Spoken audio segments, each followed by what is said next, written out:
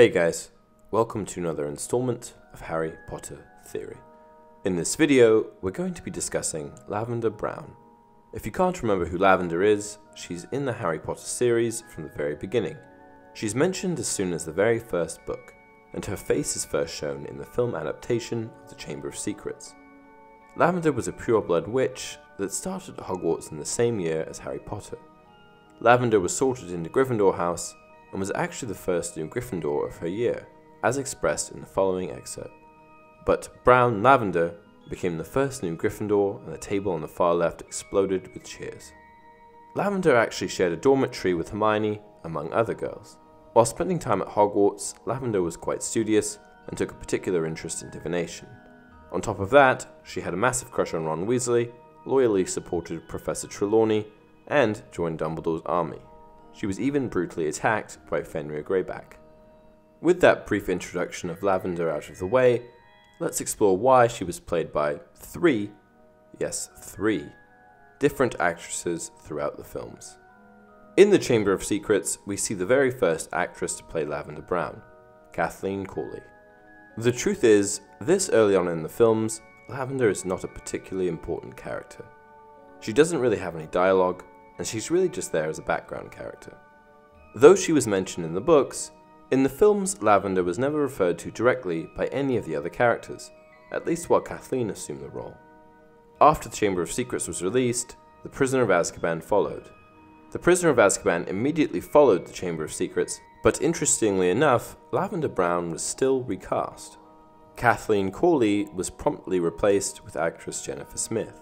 The role of Lavender at this stage was still a non-speaking one, but she did occur quite frequently as a background character in the film.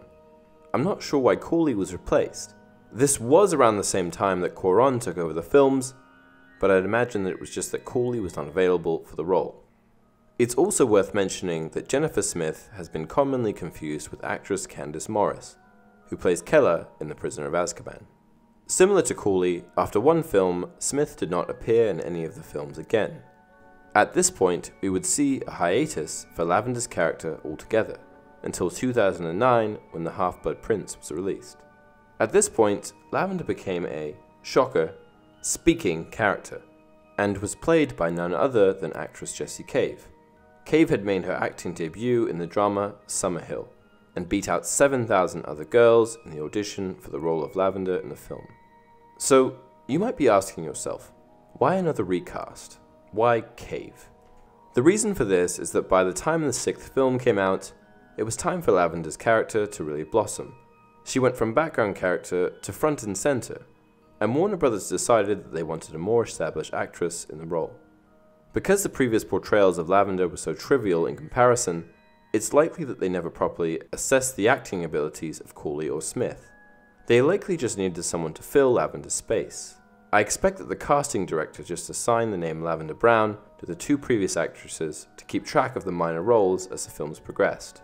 Warner Brothers was scrutinized for the casting of Cave primarily because they replaced the two black actresses with, ultimately, a white actress. I personally don't think that the casting of Cave was a racially driven decision at all as she was an experienced actress hired for a portrayal of Lavender that required more experience. Cave was excellent in the role, but I'm not a huge fan of the lack of continuity on Warner Brothers' part. They have a bit of a history with a lack of continuity throughout the films, but I suppose that can be forgiven on the basis that the films were shot over a 10 year span. So I hope that answers the question why was Lavender Brown played by three different actresses? Maybe you never noticed, or even realized that Lavender was a character before the Half Blood Prince. If you didn't read the books, that is. Well, now you know. And that's it for this video. If you guys have any questions on this, let me know down below. Please like the video if you enjoyed it. Until next time, you're a wizard, Harry!